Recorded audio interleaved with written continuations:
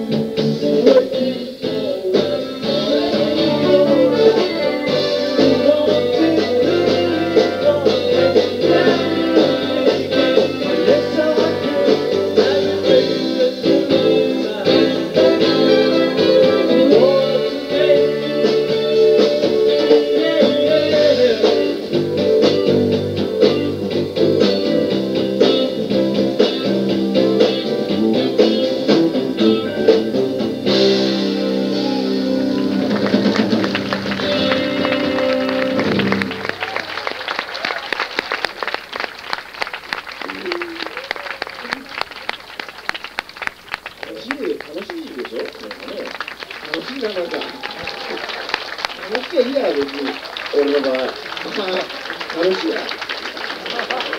罰額オッケーえ、口直しという意味も含めましてですね、えー、今の瞬間の出来事は皆さん忘れてくださいえー、去年になりますけれども、えー、今井優子ちゃんという、えー、ニューミュージックの可愛いシンガーがいますが、えー、その子をですね、え門松俊樹がプロデュースいたしまして、